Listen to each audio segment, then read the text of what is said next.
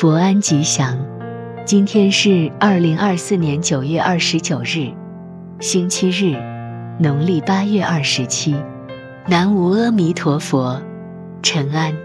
在这如梦似幻的人生旅途中，真正的幸福并非拥有一切，而是懂得珍惜所拥有的每一份福气与幸运，让心灵在平静中绽放快乐的光芒。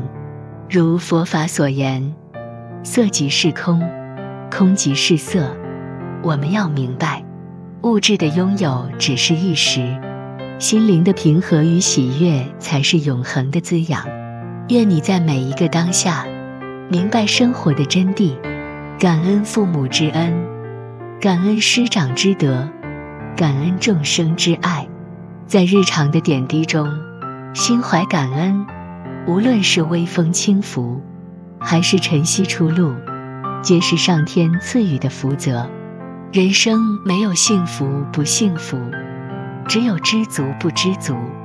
温饱无忧无虑就是幸事，无病无灾才是福泽。愿你心怀感恩，知足常乐。如佛法所言，一切法皆为心造。愿你在平淡琐碎的日子里。以智慧之眼洞察生活的美好，让每一个瞬间都视为心灵的修行。无论生活多么繁杂，保持内心的宁静，方能发现世间的真实与美好。愿你的心如莲花，无论身处何境，始终保持纯净与芬芳。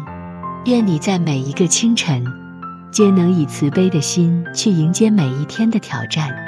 开心快乐地过好每一日，让微笑成为你最美的装饰，让善良成为你最有力的武器。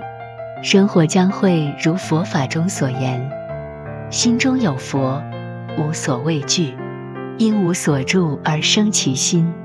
人生的真相是无常、苦空、无我、无人，唯有去除不真的人生，才能求得一个超脱的。自在的真我，人生如梦，唯有觉悟，才能见到真相。每一步的前行，都是心灵的修行。愿你不忘初心，心系众生，最终达到究竟的彼岸。在这世间，慈悲与智慧是你最珍贵的财富。愿你用爱与慈悲心去滋养每一颗心灵，以智慧去照亮每一个角落。南无阿弥陀佛，愿你在佛陀的慈悲庇佑下，常享安康，永浴幸福。愿每一位有缘人都能在生活的每一刻感受到内心的平静与喜悦，心怀感恩，传播爱与光明。